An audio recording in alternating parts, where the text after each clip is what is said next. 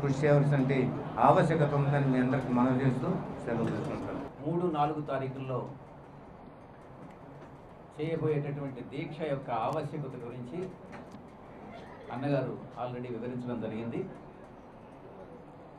చంద్రబాబు నాయుడు గారు ఇచ్చినటువంటి కొన్ని వేల హామీల్లో వందలు కాదు వేల హామీల్లో ప్రధానంగా ఐదు అంశాలను తీసుకొని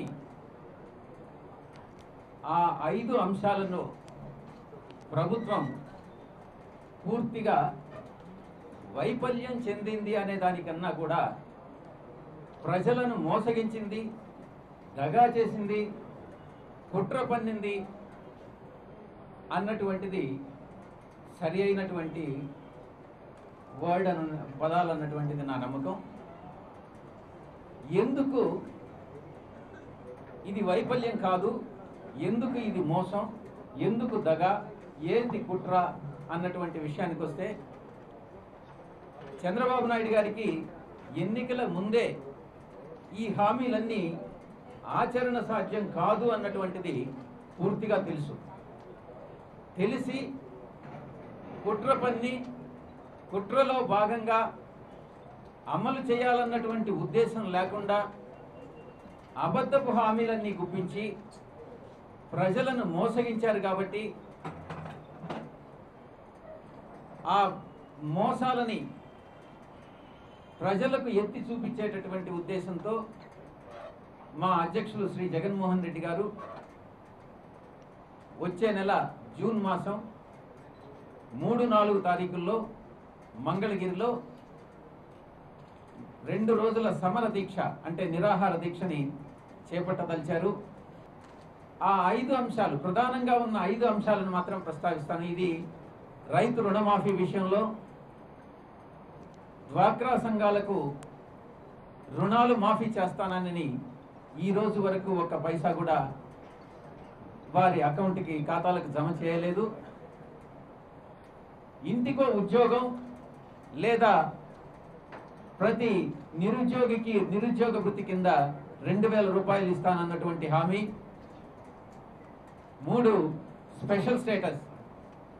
నాలుగు బలవంతపు భూసేకరణ.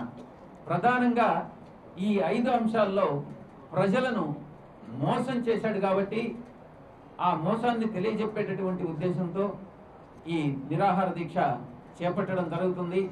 ముఖ్యంగా మొత్తం డ్వాక్రా రుణాలకు సంబంధించి డ్వాక్రా సంఘాలకు సంబంధించి రైతు రుణాలకు సంబంధించి గత రెండు వేల పద్నాలుగు గత సంవత్సరం రెండు వేల పద్నాలుగు ఫైనాన్షియల్ ఇయర్ ఆఖరులో మొత్తం రెండింటి కలిపి లక్ష కోట్ల రూపాయలు వడ్డీ కాకుండా ఈ రోజుకి దానికి వడ్డీ యాడ్ చేస్తే ఇంచుమించుగా లక్ష అపరాధ వడ్డీతో కూడా కలిపి లక్ష ఇరవై లక్ష ఇరవై ఐదు వేల కోట్లు రూపాయలు ఈరోజు బాకీ ఈ రైతులు కానీ డ్వాక్రా సంఘాల మహిళలు కానీ అందరూ కూడా బ్యాంకులకు బాకీ ఉండడం జరిగింది. దీంట్లో గత బడ్జెట్లో ఆయన ఐదు వేల కోట్ల రూపాయలు మాత్రం ఎక్కడ లక్ష ఇరవై లక్ష ఇరవై ఐదు వేల కోట్లు ఎక్కడ ఐదు వేల కోట్లు. ఈ ఐదు వేల కోట్లు ఇచ్చి నేను రుణమాఫీ చేసేసాను అన్నటువంటిది మరొక అబద్ధపు ప్రచారం. స్పెషల్ స్టేటస్ విషయానికి వస్తే స్పెషల్ స్టేటస్ అనేది రాష్ట్ర ప్రభుత్వం కాదు ఇది కేంద్ర ప్రభుత్వం ఇవ్వాలి అని బీజేపీని నిందించేటటువంటి ప్రయత్నం చేస్తున్నారు. కేంద్ర ప్రభుత్వంలో టీడీపీ అని అనేటటువంటి పార్టీ భాగస్వామి. ఎందుకు బీజేపీ ప్రభుత్వం కేంద్రంలో ఈ హామీని నెరవేర్చినట్లయితే మీరు ఎందుకు ఆ ప్రభుత్వంలో కొనసాగుతున్నారు? మీ మంత్రులను విత్డ్రా చేసుకోవచ్చు మీ ప్రభుత్వం నుంచి వెనక వె- వెనక్కి తీసుకోవచ్చు అటువంటి చర్యలు ఏమి తీసుకోరు. అంతా కుట్ర అంతా దగా మోసం ప్రజలను మోసం చేస్తున్నారు. ఇక బలవంతపు భూసేకరణకు వస్తే బలవంతంగా భూసేకరణ చేయాల్సిన ఆవశ్యకత ఏంటి? మా యొక్క పార్టీ మా అధ్యక్షులు వారు స్పష్టంగా చెప్పారు. ఎక్కడైతే ముప్పై ముప్పై నుంచి యాభై వేల ఎకరాలు అటవీ ప్రాంతం ఉందో ఈవెన్ పునర్విభజన చట్టంలో కూడా కేంద్ర ప్రభుత్వం అప్పుడు ఆమోదయోగ్యం ఆమోదం చెప్పినప్పుడు ఇదే విషయం చెప్పారు. అటవీ భూములు ఏదైనా ఉంటే డీనోటిఫై చేస్తామన్నారు. రాజధాని నిర్మాణం కోసం నిధులు ఇస్తామని అన్నారు.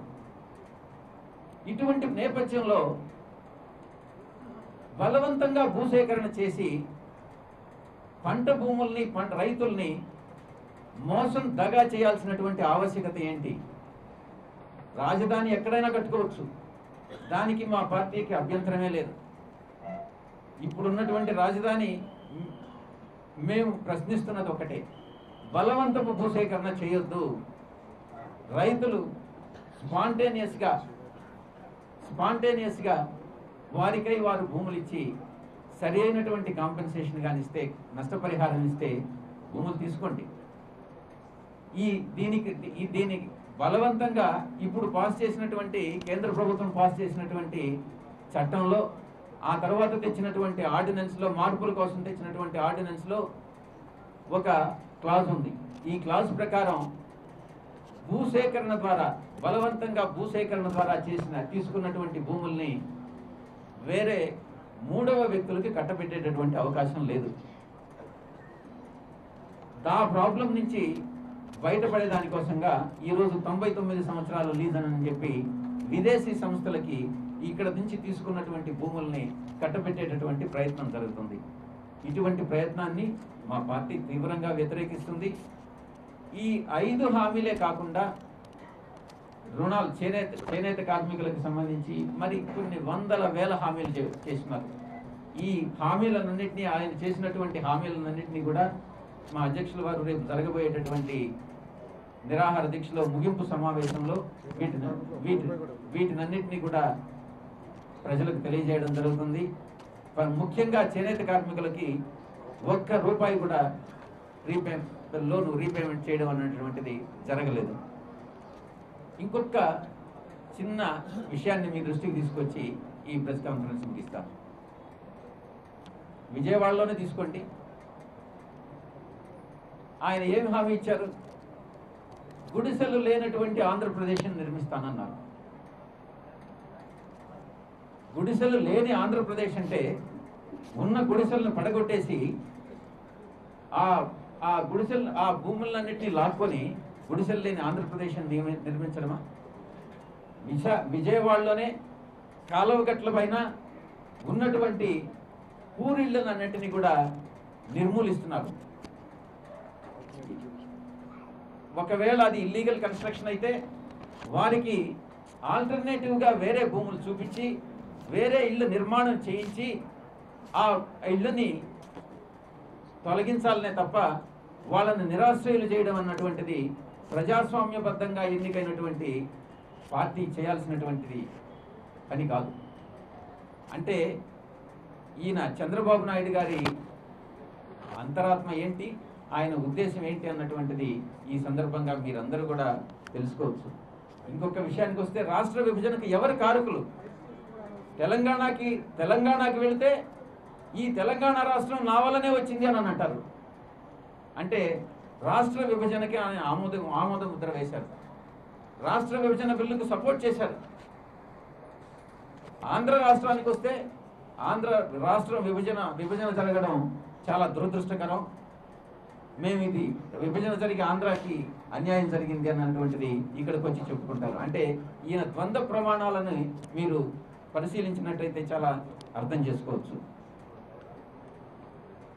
ఈ ఈ వీటినన్నిటినీ ఏకరవు పెడుతూ మా అధ్యక్షుల వారు మూడు నాలుగవ తారీఖు ముగింపు ఉపన్యాసంలో చాలా డీటెయిల్డ్గా వివరించడం జరుగుతుంది. ఈ నిరాహార దీక్షకి అందరూ కూడా ప్రతి ఒక్కరూ పదమూడు జిల్లాల నుంచి అందరూ కూడా హాజరై విజయవంతం చేయాల్సిందిగా కోరుకుంటూ సెలవు తీసుకుంటున్నాను.